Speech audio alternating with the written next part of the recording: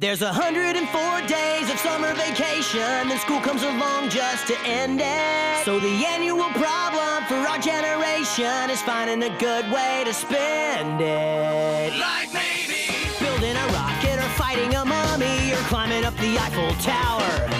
Discovering something that doesn't exist or giving a monkey a shower.